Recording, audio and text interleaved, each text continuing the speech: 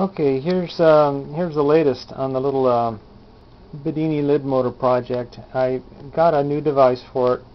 It's called a switching regulator, an adjustable switching regulator, and it allows you to take um, 12 volts and step it down to whatever you want.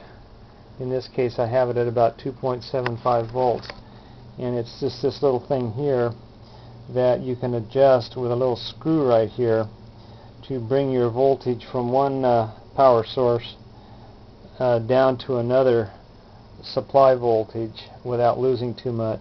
And um, this is the stats on it. It's 1.25 volts to 10 volts up to 1 amp and it's 90% efficient.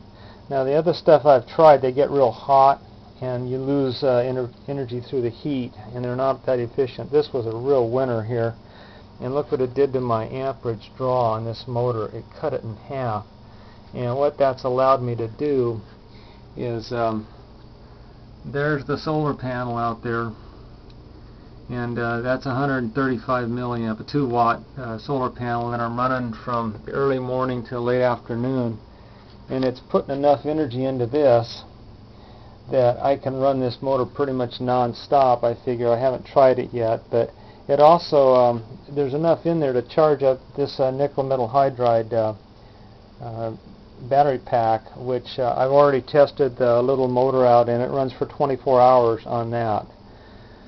So anyway, that's the latest on this, and this uh, this little guy here was the real winner. Um, it, it this motor uh, likes what comes out of that real well. It runs smoother, faster. And when I take the battery out of the system, just use the capacitor, it runs twice as fast. And the capacitor sits at 19 volts off that little panel. So whatever's going on in there, it's uh, it's got some circuitry in there. Um, it's very, very effective. I highly recommend it. I got it from uh, Dimension Engineering online and ordered it. It was not very expensive and uh, very effective for small projects like this. I recommend it. But uh, I still run the motor the same way. I've got power going into it from this side, runs through the Bedini circuit, um, and then I feed the energy that's captured on the back side into these supercapacitors. It's not much, but it, it holds quite well. And then I feed it back into the permanent magnet motor in this system to help run that rotor. And uh, it, it seems to work real good. Um, I'm just anxious to see how long this thing will go. Of course, it depends on sunlight and how big a storage um, battery you've got. This, this to me is just like a sponge.